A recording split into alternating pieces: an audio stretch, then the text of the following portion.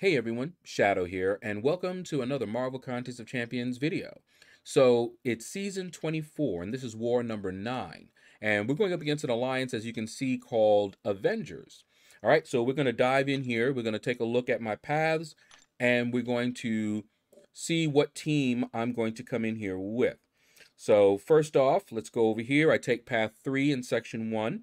And as you can see, they did not place a defender. That's uh, very common on that first node. Save their defenders for some of the tougher nodes. Uh, and then he, we have this Guardian here. And my Claire should be able to handle that Guardian. Now, I was thinking of bringing in Corvus uh, against this Guardian. soon as I see Tech, I think Corvus.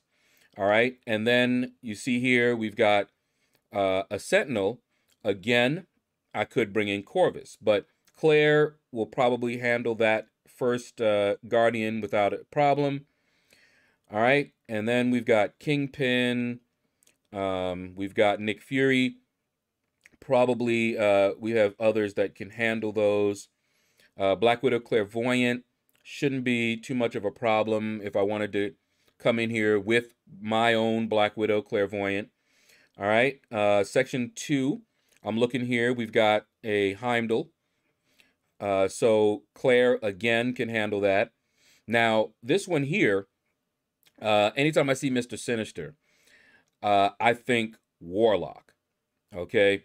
Uh, I could have gotten a mutant uh, mission if I brought in Corvus, but not against Mr. Sinister. All right? And I see we have a Killmonger. Again, Corvus is great for that fight. All right, so right now, what it's looking like uh, is Claire. It's looking like Warlock. And the third one, I can bring in Nick Fury, Omega Red, or Corvus. If I bring in Corvus, I can take down this Guardian. I can take down this um, Sentinel here. I will have at least the one uh, charge from that. And that will give me a little bit, uh, put me in a little bit better position uh, to take out this Killmonger with my Corvus, if I need to do that.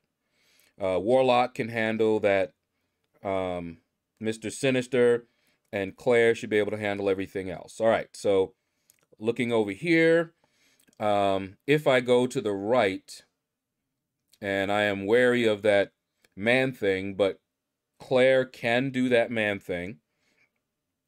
Uh, that Warlock, I don't like that node, so I usually try to avoid fighting it, and often whoever is going to come in and, and handle these bosses just boosts up really big and then just clears uh, all of that out. Uh, it might be our backup uh, unless they're needed somewhere else. Uh, and of course, Domino, my Warlock, could handle her. Uh, so could Corvus.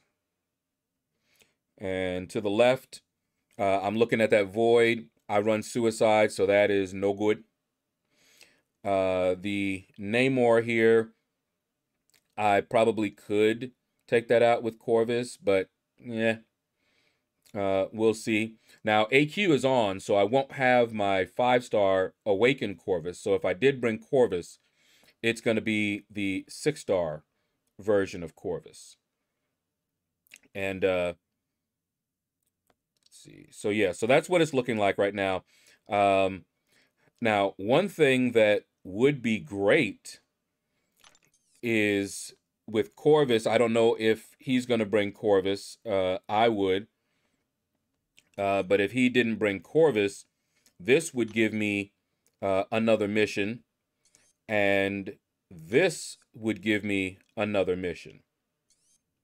And then I'd be all powered up. But that is also something that uh, he can do as well bring Corvus and uh, take that out. So we'll see what happens.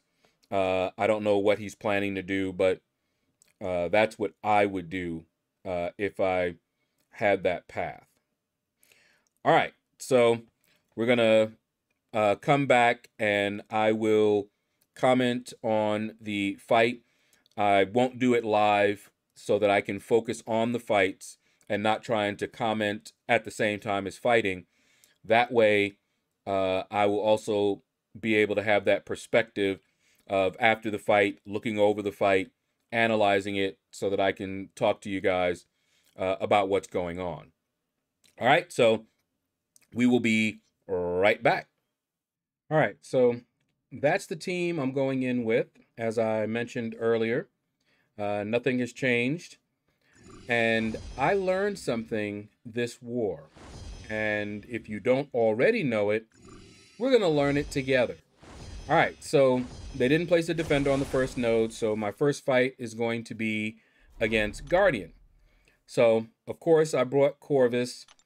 Uh, Corvus will be able to pick up a charge, a mission, and it was possible for me to get two missions because of the auto blocking, but I wasn't going to try for it.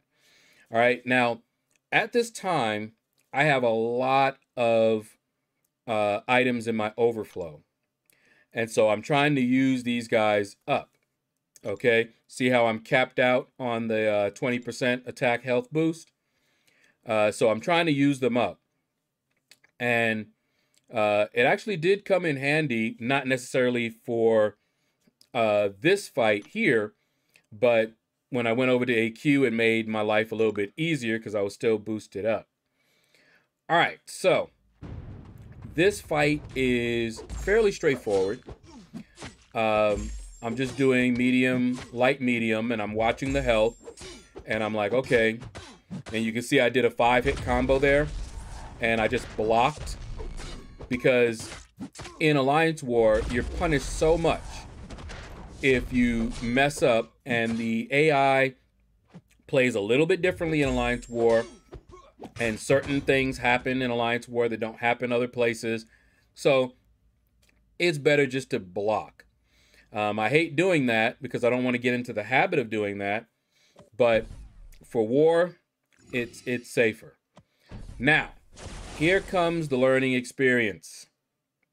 So we are going up against this Sentinel. Strike counter Fury. So either you ignore the node and you're going to um, just not be able to fire specials off, or you try to play around the node uh, and wait, no, no, no, sorry. Uh, you won't. You'll have power to do your specials, but he's going to build up fury charges. Um, it's it's in section two that uh, you won't have any power, but in section one, they're just going to build up furies. All right. Now, if you saw the global the defense tactic. It's protect. That makes this fight not a good idea to do with Corvus. I was boosted up. See, he's already got protection. And now I'm doing less damage. But you can see I'm chewing him up. And I'm just like, okay, I got this. You know, now to remove these protection stacks, I've got to intercept him. Okay. So you see, I'm trying to intercept, trying to intercept, and he's not attacking me. All right. Every time I hit him, he gets another stack. All right. So I'm just like, all right, now what do I do? All right. Got to, got to get that intercept. You know, nope. Didn't do that one. Got the protection up. So I'm not doing any damage. Okay. So we're just trying to get him to attack. Um, he attacked there, but he had a special, so I didn't want to go for the intercept. All right, now all right, got the intercept. But he didn't want to play ball. All right, hit him again. Got another stack of protection. You see what the problem is, right? All right, and then I just got knocked out. All right, um, I didn't force quit. Um, I, I, actually hit the button by accident. Uh, is what happened there. Uh, wasn't trying to force quit. Wouldn't have made a difference anyway. Um, I wasn't planning on using uh, Corvus after that. Not going to revive him, not going to do anything. Uh, and so I sat here stunned. All right. And you saw how quick, because of those Furies, he was able to take me down. All right. That was completely my fault. So, first mini, second fight and I'm already dead. I was not a pleased person. I do not like dying in war. Um, I don't like dying, period. So I sat here and I asked um, if they wanted me to go in, and I didn't hear anything. And I'm sitting here just salty. And I'm like, you know what?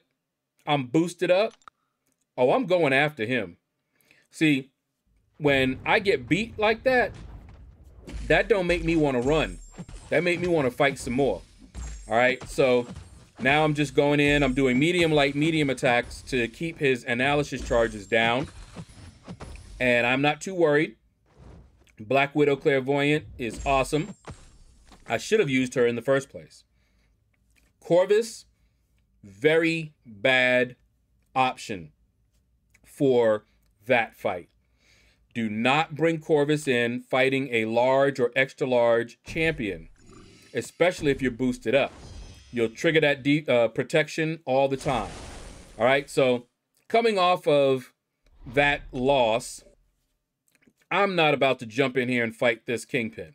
So I sat there to see if they needed me to fight him, um, but others had a better uh, counter for him on that node. Um, I was asked to, you know, please clear this uh, uh, clairvoyant. So I'm like, oh, for sure, I could do that. You know, she's almost gone. I can I can give her a couple of love taps, take her down. All right, so again, I've got these guys in my overflow, as you see, capped. Um, and I haven't claimed yet.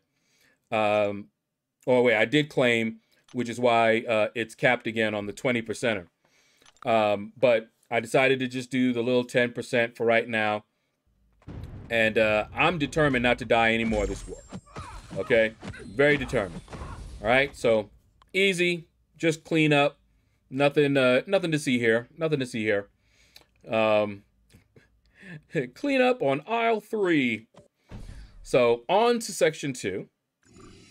And I'm going to fight Heimdall for the first one. Now, Heimdall is not difficult to fight, but you don't want to push him to a special two. And you want to hope that you can bait out that special one because otherwise he's annoying. Okay? Now, what you want to do, because he will auto block you, and you'll see me doing it. Um, you know, I'm waiting for him because I'm not trying to get caught. All right, so now here, I'm gonna bait out the special one. And you're gonna see that I don't immediately punish the special one. That's a good way to get auto blocked. All right, see I'm backing off, and then I parry heavy. Now I can go ahead and fight. All right, do my uh, five hit combo and just do that burst damage. And he's almost gone. Okay, so once again, I backed off heavy. And if you can get the um, uh, spacing right, you can do a heavy attack, counter his special one with a heavy, uh, depending on who you have. All right, but you can see here, I'm just playing it safe, backing off. And then here, I was going to try to see if I could get a little heal in, but he was already too far gone. Uh, there was no way I was going to be able to get a special two off to get any healing back. Uh, fortunately, she's not really that hurt. Uh, so Heimdall is down. Now, we're going to go up against this Mr. Sinister. And Mr. Sinister, he is annoying. You can see he's a, uh, um, I think, what is that? He was he a large champion or extra large champion? Uh, I forget. But again, you wouldn't have wanted to bring in Corvus against him anyway. But I had already planned to use uh, Warlock. Warlock is a great counter for having. Uh, unless the node prevents it, he's a great counter. Now, also, because of Warlock's size, I believe he's extra large, um, even if our opponent gets protections, I just have to knock him down. Just do a heavy attack, and it wipes out all of the protection charges because of his size. I believe it's large and extra large um, that can just knock them down and remove all the protection charges. So he is a great counter. Uh, I could have also used him against that Sentinel in the uh, first section. Uh, Warlock is just a beast.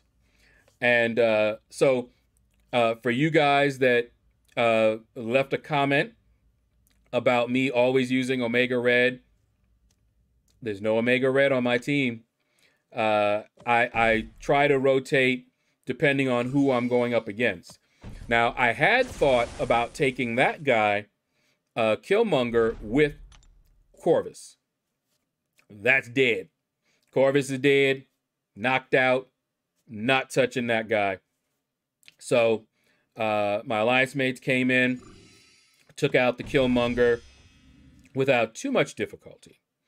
All right, so now I was asked to uh, get that domino down. And yeah, my warlock, beast. Now, remember I mentioned that um, boosting up somewhat helped me. Here, uh, you didn't see it, but I'm actually, yeah, see here? See those uh, tech boosts? The reason that I have those tech boosts on uh, and the attack boost, look at the time of them. I'm actually in uh, Act 6, finishing up exploration of 6.3. So I was already boosted to do that. And when I got the call, they tagged me and said, you know, um, can your warlock take that domino? Well, they that that's what I was waiting for. Now I popped in an invulnerability boost because I lost to Sentinel in section one, and I'm not dying again. And Domino can be pretty tricky. So I'm trying to play it relatively safe here. Uh, I like her double hits because it just um, allows me to get the infection up on her faster. All right, so um, she's lucky at this point. Uh, I can freely evade because I'm tech. Uh, Warlock is just a beautiful counter to Domino. All right, look at that. Even intercepting, having myself a ball. All right, now the way you normally would fight her, you can intercept and uh, uh, just wait for her to dash and then immediately counter her dash attack. But look at these special twos I'm getting off because of the boost. She don't stand a chance. Look at this, I'm back to a special two again. That's some nasty stuff. Those boosts make a difference, a huge difference, as you can see. That fight, I still would have beaten her, but not as quickly. All right, so that's the end of my participation in this war. Uh, so uh, after an intermission, and I don't believe we have any recorded fights for the other fights, so we'll be right back.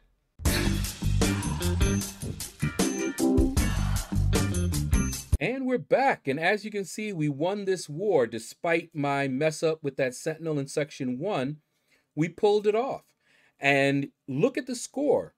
This was another very close war. This could have gone either way, okay? So shout out to Avengers. You guys fought a very good war. Uh, kudos to you. Uh, but we have lost, I believe, two wars this season. So we are poised to be able to finish in Platinum 3. Uh, we are probably still going to go for the win, uh, at least one other war. And then they'll do some number crunching and see if we can just coast for the last uh, few wars. Just do boss rushes. All right, but that's going to do it, guys. Thank you all for watching the video. Feel free to hit that like button if you enjoyed it. Leave a comment. Let me know what you thought about this video. And you all have a blessed day.